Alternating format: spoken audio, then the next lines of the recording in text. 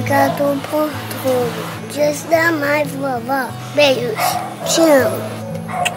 Eu venho aqui para te desejar um e santo Dia das Mães, né? Na verdade, todo dia é Dia das Mães. A senhora também é tudo para mim. Queria te agradecer por tudo, pedir perdão também pelas falhas, né? Peço a Deus todos os dias, né? Então que esse dia seja muito um dia brilhante, um dia cheio de alegrias. Então obrigado, mãe, e que Deus te abençoe muito, muito, muito. Amém.